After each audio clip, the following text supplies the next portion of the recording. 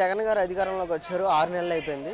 కానీ ఇప్పుడు చూస్తేనేమో చంద్రబాబు గారు ఏమో కృత్రిమ ఇసుక కొరత అని చెప్పేసి అంటున్నారు. కానీ ఇప్పుడున్న ప్రభుత్వం ఏమో వరదలు వచ్చాయి అందుకే ఇసుక కొరత ఉందని చెప్పేసి అంటున్నారు కదా. అసలు మీ అభిప్రాయం అండి వరదలు వచ్చినా కూడా ఏదొచ్చినా కూడా ఈ విధమైనటువంటి పరిస్థితి ఉంటుంది. వరదలు వస్తాయి అన్న సంగతి వాతావరణ సూచిక ఇటువంటి అన్నీ ఉన్నప్పుడు ప్రభుత్వం అన్నది జాగ్రత్త పడాల. ఇసుక కార్మికుల గురించి కానీ వేరే విధంగా కానీ ఒక కేవలం ఒక ఇసుక వల్ల నలభై రెండు కుటుంబాలు కానీ నలభై రెండు వ్యవస్థలు కానీ ఇబ్బంది పడుతున్నాయి. అదంతా కూడా ప్రభుత్వ వైఫల్యమే. గతంలో వరదలు రాలేదా? గరదల్లో తుఫాన్లు రాలేదా? బీభత్సాలు జరగలేదా? ఏనాడన్నా ఇటువంటి పరిస్థితి ఎప్పుడన్నా కల్పించిందా? ఇదంతా కూడా జగన్ గారి పరిపాలన జగన్ గారి ప్రభుత్వ వైఫల్యం వల్ల ఈ విధంగా జరుగుతుంది. ఇతర రాష్ట్రాల్లో వరదలు రాలేదా? వరదలు వస్తున్నాయని చెప్పి తుఫాన్ వస్తుందని చెప్పి మనం ఏ విధమైనటువంటి మన కావాల్సిన సరుకులు కానీ నిత్యావసర సరుకులు కానీ ఏ విధంగా మనం జాగ్రత్త చేసుకుంటామో అదే విధంగా మరి ఇసుక కూడా ఒక ప్రధానమైన పాత్ర వహిస్తుంది కాబట్టి ఆ ఇసుకను కూడా దృష్టిలో పెట్టుకుని దానికి కావాల్సిన చర్యలు తీసుకుని ప్రభుత్వం కనుక ఉంటే ఈ రోజున మన నారా చంద్రబాబు నాయుడు గారు ఒక రాష్ట్రానికి రెండు మూడు సార్లు ముఖ్యమంత్రిగా చేసిన వ్యక్తి నడి రోడ్డు మీద కూర్చుని ధర్నా చేయాల్సినటువంటి పరిస్థితి రాదు. కాబట్టి దయచేసి ప్రభుత్వం ఇప్పటికైనా గమనించి ఆ ఇసుక కొరతనే ఇసుక కార్మికుల సమస్యలు తీర్స్తే ఆ ఇసుక వల్ల ఎన్నో కుటుంబాలు ఎంతోమంది రోడ్డును పడి ఎన్నో విధాలుగా బాధలు పడుతున్న పరిస్థితి ఉంది. ఒక ఇసుక ఉందంటే టాపీ పనివాడు పని చేస్తాడు కార్మికుడు పని చేస్తాడు వడ్రంగి పని చేస్తాడు కరెంట్ ఎలక్ట్రీషియన్ పని చేస్తాడు ఇంతమంది పని చేస్తూ ఉంటారు. కాబట్టి ఆ ఇసుక అన్నది అదంతా కూడా ప్రభుత్వ వైఫల్యమే. ఇది ఒక్కటే కాదు ప్రభుత్వం ఏది కూడా చేయలేని పరిస్థితిలో ఉంది. ఏంటంటే అనుభవం లేదు ముఖ్యంగా. జగన్ గారికి అనుభవం లేదు. గతంలో వరదలు రాలేదా మనకి? ఎన్నిసార్లు వరదలు వచ్చినాయి? నారా చంద్రబాబు నాయుడు గారి పరిపాలన ఉన్నప్పుడు అప్పుడు ఇటువంటి ఇటువంటి పరిస్థితి మనం ఎప్పుడైనా చూసామా?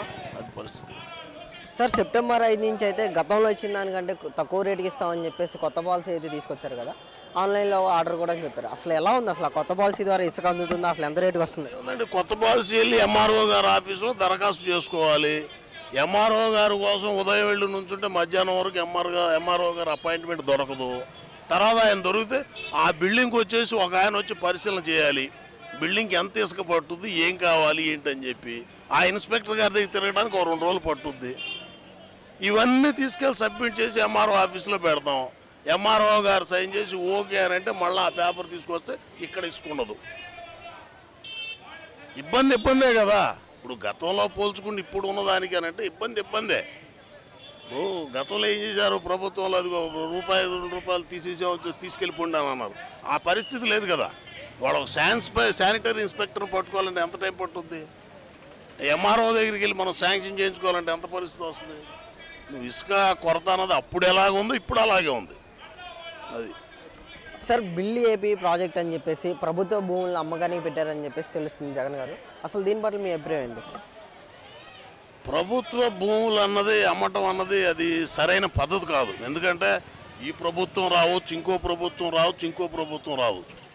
ప్రభుత్వ భూమి భూమి అన్నది పెరగట్ల. జనాభా పెరుగుతుంది ప్రజలు పెరుగుతున్నారు తప్ప నీకు భూమి అన్నది పెరగ అందుకనే మీకు భూమి విలువ చూడండి. ఒకప్పుడు ఉన్న విలువకి వాళ్ళు ఉన్న విలువకి ఎంతో పెరిగిపోయింది భూమిని అమ్మటం భూమిని బేరం పెట్టడం రాష్ట్రాన్ని పరిపాలించడం ఏదో సాధక బాధకాలు తీసుకోవడం అన్నది కరెక్ట్ పద్ధతి కాదు. చంద్రబాబు నాయుడు గారు ఉన్నారు. చంద్రబాబు నాయుడు గారు హయాంలో ఎప్పుడన్నా భూములు అమ్మాడు ఆయన? ఎక్కడ తాకట్టు పెట్టాడు ఆయన? ఒక్క రూపాయి లేకుండా కూర్చోడానికి కుర్చీ లేని పరిస్థితుల్లో ఆంధ్రప్రదేశ్కి వచ్చి ఈ విధమైన పరిస్థితి తీసుకొచ్చి ఈ విధంగా రాష్ట్రాన్ని ముందు తీసుకెళ్ళిన వ్యక్తి భూములు అమ్మటం అన్నది కరెక్ట్ కాదండి. సార్ ఇప్పుడు అమరావతి రాజధాని అయితే మారుస్తామని చెప్పేసి చాలా వార్తలు వస్తున్నాయి. మీరేమంటారు? మంత్రి బొత్స గారేమో కమిటీని వేసాం ఆరు వారాల్లో నివేదికిస్తుందని చెప్పేసి అంటున్నారు కదా మీరేమంటారు అసలు? అసలు మంత్రి బొత్స సత్యనారాయణ గారికి ఆయన ఏం మాట్లాడుతున్నాడో ఆయనకి తెలియదు అసలు సబ్జెక్టు గురించి ముందు ఆయనకి తెలియదు ఒక ఒక ప్రదేశానికి వెళ్తున్నామంటే ఆ ప్రదేశంలో ఒక సబ్జెక్టు గురించి మాట్లాడుతున్నామంటే ఇప్పుడు అలంకార్ థియేటర్ ఉంది. అలంకార్ థియేటర్కి ఎన్ని దారులు ఉన్నాయి? ఇక్కడ ఎన్ని సెంటర్లు ఉన్నాయి? అన్నది కూడా ఆయనకి తెలీదు. వచ్చేసి ఏదో అక్కడ రాసుకుని కూర్చొని ఏదో చెప్పేసి వెళ్ళిపోవడం తప్ప. అమరావతిని మార్చడం రాజధానిని మార్చడం అంటూ జరిగితే ఆంధ్ర ప్రజల ఆత్మాభిమానాన్ని దెబ్బతీసినట్టే. అంటే రాజధానిలో ఉన్నవన్నీ తాత్కాలిక భవనాలు రాజధానిలో రైతులందరూ చంద్రబాబు గారు బినామీలు అని చెప్పేసి మంత్రి గారు ఆరోపణలు అయితే చేస్తున్నారు. మీరేమంటారు? బినామీలు ఎవరు రాలేదు కదండి బయటికి. ఇప్పుడు రైతులు ఎవరైనా వచ్చారా? ఎవరు రాలేదే?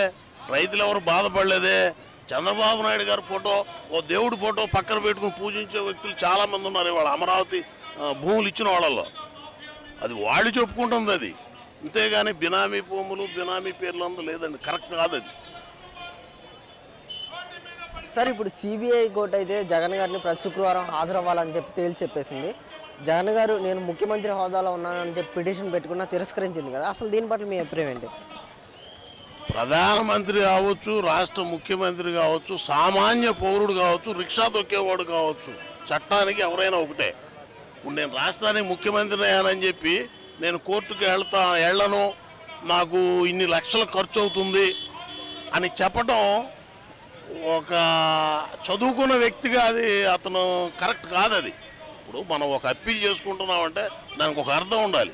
అది లేకుండా నేను అరవై లక్షలు ఖర్చు అవుతుంది. నేను రాష్ట్రానికి ముఖ్యమంత్రిగా ఉన్నాను. మరి ఇక్కడ నుంచి మేము అక్కడ రావాలంటే ఇబ్బంది జరుగుతుందన్న కరెక్ట్ కాదండి అది. అది ముఖ్యమంత్రి అయినా వెళ్ళాల్సిందే ప్రధానమంత్రి అయినా సరే కోర్టుకు వెళ్ళాల్సిందే. ప్రధానమంత్రి అయినా శిక్ష అనుభవించాలా ముఖ్యమంత్రి అయినా శిక్ష అనుభవించాలా? అది. సార్ రాష్ట్రంలో ఆర్థిక పరిస్థితుల కారణంగా నేను రూపాయి జీతమే తీసుకుంటాను కిల్లి వాటర్ బాటిల్లోనే వాటర్ తాగుతానని చెప్పేసి నా- అని చెప్పిన జగన్ గారు ఈరోజు తన ఇంటి ఖర్చుల నిమిత్తం పదిహేను కోట్ల అరవై ఐదు లక్షలు అయితే ఎనిమిది జీవోల ద్వారా రిలీజ్ చేసుకున్నారు కదా. అసలు దీని పట్ల మీ అభిప్రాయం ఏంటి? ఇవన్నీ కూడానండి ఆయన చెప్పేది ఏది కూడా నిజం లేదు. ఆయన చెప్పే అన్నీ కూడా అంతే. ఈరోజు ప్రకటన వస్తుంది. ఆ ప్రకటన ఏంటన్నది ఆయనకి అర్థం కాదు. ఇంకో మంత్రి గారు వస్తారు ఇంకో ప్రకటన చేస్తున్నాడు అవన్నీ కరెక్ట్ కాదండి. రాష్ట్రంలో అయితే లోటు బడ్జెట్ ఉందని చెప్పి కోట్ల రూపాయలు ఖర్చు పెట్టి ఆయన ఇంటికి చేపించుకున్నాడు. చంద్రబాబు నాయుడు గారు మరి ఇన్ని సంవత్సరాలు పరిపాలన చేశాడు. ఆయన ఇంటికి ప్రభుత్వ డబ్బులతో ఎప్పుడు ఖర్చు పెట్టుకోలేదే? ఎక్కడో అద్దీంట్లో ఉన్నాడు అద్దె కట్టుకున్నాడు వెళ్ళిపోతున్నాడు ఆయన. ఆయన చేయలేదు కదా అలాగా? మరి ఈయన పదిహేను కోట్లు ఖర్చు పెట్టి ఆయన ఇంటికి ఖర్చు పెట్టినప్పుడు రేపు ఈయన ముఖ్యమంత్రి దిగిపోతాడు. ఆ ఇల్లు ఆయనకి చెందుద్దా ప్రభుత్వానికి చెందుద్దా? అది కరెక్ట్ కాదండి ఆయన చేసే పరిస్థితి. సార్ ఇప్పుడు ప్రభుత్వ స్కూల్లో ఇంగ్లీష్ మీడియం అయితే అమలు చేస్తున్నారు కదా వచ్చే సంవత్సరం నుంచి. అసలు దీని పట్ల మీ అభిప్రాయం ఏంటి? ఏంటండి?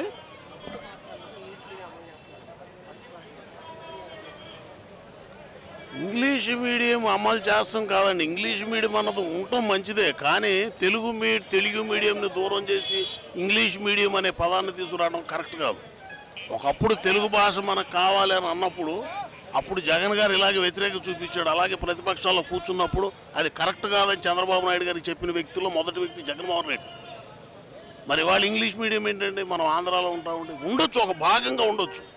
ఇంగ్లీష్ మీడియం ఉండొచ్చు హిందీ మీడియం ఉండొచ్చు భాగంగా ఉండాలి తప్ప దాన్ని తీసుకొచ్చి ఫస్ట్ లైన్లో పెట్టడం అనేది కరెక్ట్ కాదు. సార్ మన రాష్ట్రంలో పెట్టుబడులు పెట్టడానికి వచ్చిన ఇండస్ట్రీస్ అన్ని వెనక్కి వెళ్ళిపోతున్నాయి. చూసుకుంటే ఆదాని గ్రూప్ కానీ రిలయన్స్ గ్రూప్ కానీ ఇలా వెనక్కి వెళ్ళిపోతున్నాయి కదా. అసలు దీని పట్ల మీ అభిప్రాయం? అసలు ఎందుకు వెళ్ళిపోతున్నాయి అనుకుంటున్నారు? బాధ్యత రాహిత్యం ఒకటి అనుభవం లేని వ్యక్తి ఒకటి.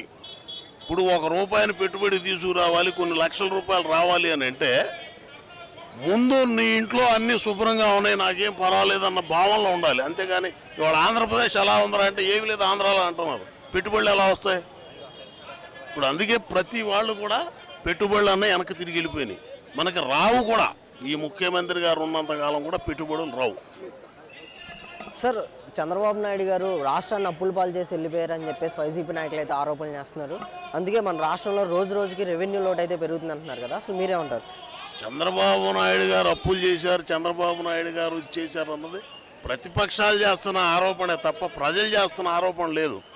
వాస్తవంగా చెప్పండి చంద్రబాబు నాయుడు గారు ఆస్తులు తీసుకుని ఆంధ్రాకు వచ్చాడా? ఆస్తులను తీసుకుని రాలేదు కదా? కుర్చీ ఖాళీ కుర్చీతో వచ్చాడు. ఆ ఖాళీ కుర్చీతో ఇంత అభివృద్ధి చేశాడు అతను. రెవెన్యూ లోటు బడ్జెట్ అంటే రెవెన్యూ లోటు బడ్జెట్. వీళ్ళు వచ్చిన తర్వాత ఉంది కానీ అతను వచ్చిన తర్వాత పెంచాడు. మన తెలంగాణ చూసుకుంటే తెలంగాణ ఎంత అభివృద్ధిలో ఉంది? తెలంగాణ లోటు రెవెన్యూ బడ్జెట్కి మన రెవెన్యూ బడ్జెట్కి ఎంత వ్యత్యాసం ఉంది? దగ్గర దగ్గర మనం తెలంగాణ రెవెన్యూ బడ్జెట్ చేరుకుంటున్నాం మనం ఆంధ్రప్రదేశ్లో.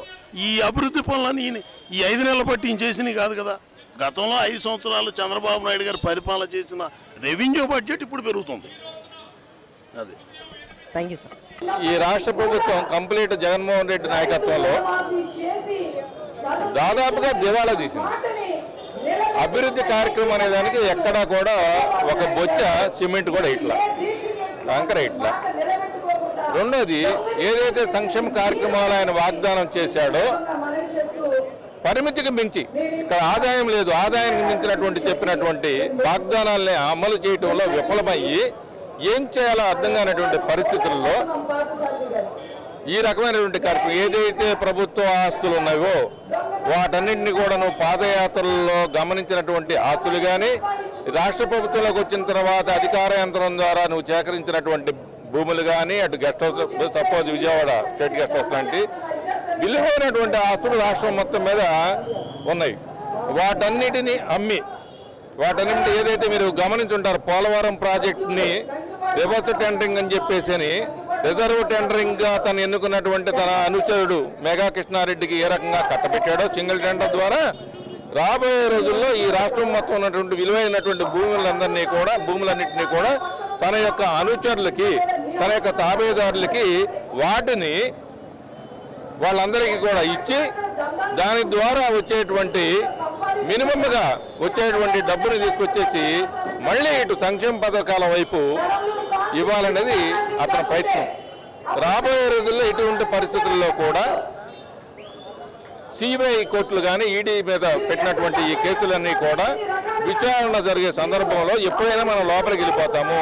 ఆ వెళ్ళేలోపు ఈ ప్రజానికానికి ఇక్కడ ఉన్నటువంటి ఆస్తులను నమ్మి ఏదో రకంగా ఏదో ఒకటి చెప్పిన వాగ్దానాలను చేసేదానికి ఆర్థికమైన ఇబ్బందులు ఇక్కడ ఉన్నాయి కాబట్టి వాటిని తీసుకొచ్చి ఈ రకంగా పప్పు బెల్లాల్లా పంచి దాని ద్వారా మంచి పేరు తెచ్చుకుని రాబోయే రోజుల్లో మళ్ళీ ఎప్పుడైనా సరే జైలు నుంచి బయటకు వచ్చిన తర్వాత అధికారంలోకి వచ్చేదానికి ఇది ఒక మార్గంగా ఎన్నుకుని విలువైనటువంటి భూములన్నింటిని కూడా తన యొక్క అనుచరులకు కట్టబెట్టేదానికి జరిగే ప్రయత్నంలోనే ఇది ఈ ఈ కార్యక్రమం అనమాట సార్ రాష్ట్ర ఆర్థిక పరిస్థితుల కారణంగా జగన్మోహన్ రెడ్డి గారు అంటున్నారు నేను రూపాయి జీతమే తీసుకుంటాను కిలో వాటర్ బాటిల్లోనే వాటర్ తాగుతాను అని చెప్పేసి అంటున్నారు.